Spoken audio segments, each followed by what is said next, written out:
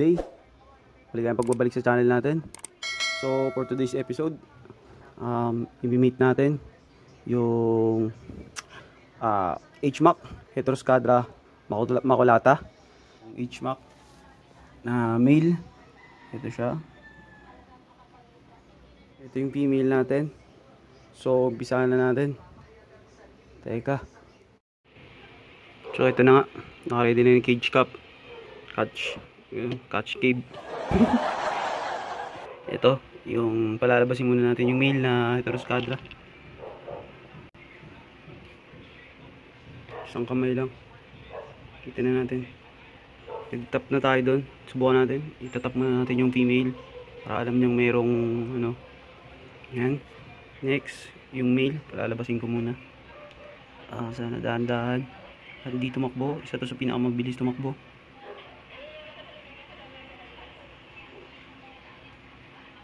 Unat na unat, baby. Silayan nyo muna kung gaano kaganda ang... Tanggalin ko muna to. Oop. Oop. Kita nyo naman kung gaano kabilis. Nasa kamay ko agad. Post ko muna.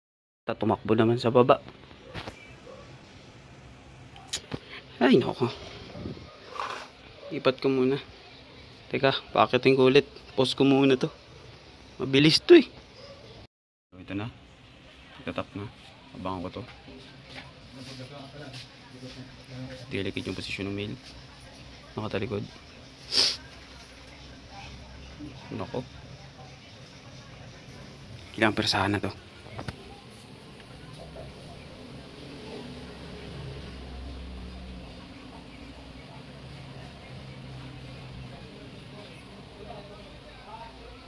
Pisig ng mail.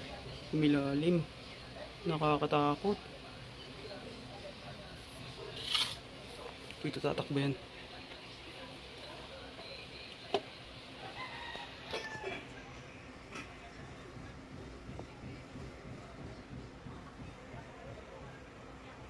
Abangan ko. Sana makashoot.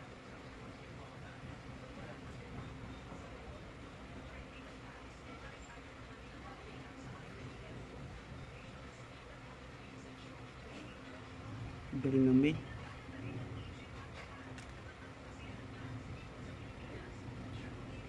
Kailangan yung posisyon niya, lipat siya. Hindi niya kaya dun yung posisyon na yun. Napalipat niya yung female. Tay tayo sa'yo. Pumasok pa. Ayun, malaki na rin yung abdomen ng female. Eh. Yung ready na rin to eh. Naku, patay tayo dyan. Sir, pumasok na sa loob.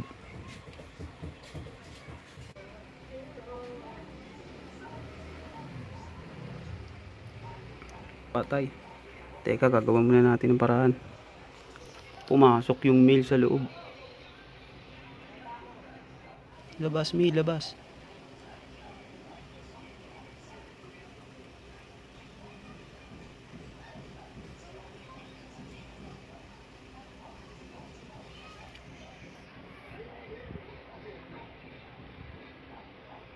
Nice, boy pa, yung mail. Pinalabas niya, ang galing.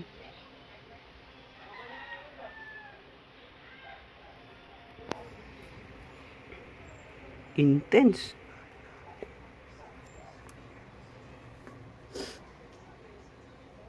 Tatry pa rin ako mawat, syempre para sa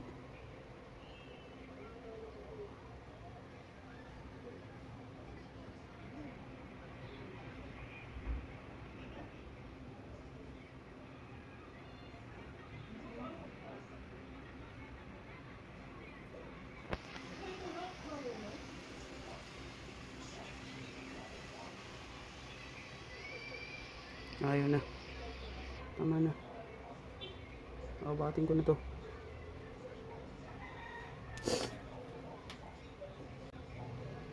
Teka, teka. Mukhang delikado pa eh. Teka lang ah. Pipilitin ng dahan-dahan. Tama na. Tama na.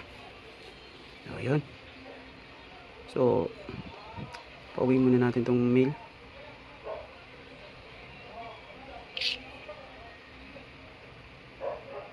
Pasok. Pasok mga female.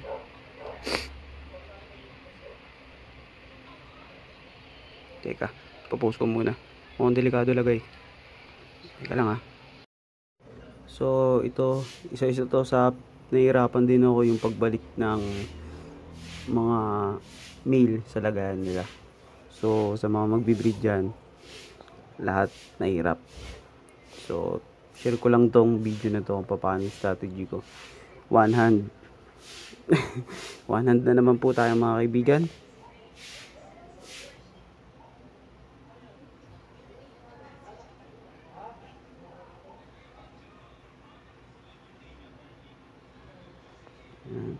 Gently lang.